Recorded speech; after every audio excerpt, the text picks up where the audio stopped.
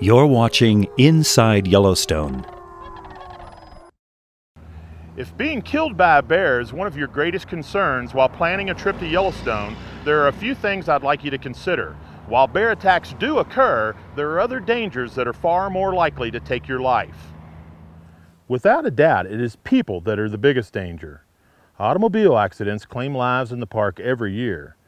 Simple things like exiting cars on the curb side of a vehicle could save a loved one's life. Slow down. You can't see all of Yellowstone in a lifetime, much less a day. Speed limits are set not only for your safety, but also for the safety of park wildlife. While in the park, please do not exceed speed limits.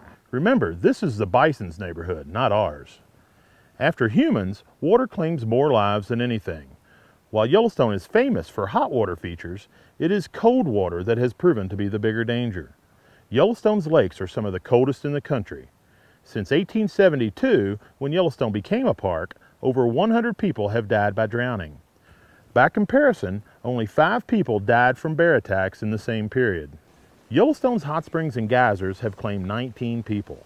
Talk with your kids before you get to the thermal areas. The water in these areas can be at or above boiling and boardwalks can be slippery. Never run in thermal areas and always stay on the boardwalks and trails. We want visitors to get out and hike Yellowstone's trails. Always, even on the hottest of days, hike with rain gear and drinking water. Exposure and dehydration are significant threats. We all enjoy good views, but stand back from cliffs and overhangs.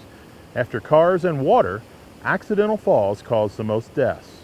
Can you believe that we're almost done with the general safety video and we haven't warned you about bears yet? That's because if you follow the rules for hiking in bear country, bears are not all that big a concern. Nearly everyone who has been injured by a bear in the last decade was breaking one of the primary rules. View our bear safety video and stop in a visitor center and ask about wildlife safety rules before you begin your hike. The most basic wildlife safety rule is simple. Stay alert when hiking trails. All the animals in Yellowstone are wild and unpredictable. Stay at least 100 yards from bears and 25 yards from other wildlife. If you follow some simple rules like these, Yellowstone can leave you with a renewed sense of purpose. Let Yellowstone change your life. Just make sure that change is a positive one.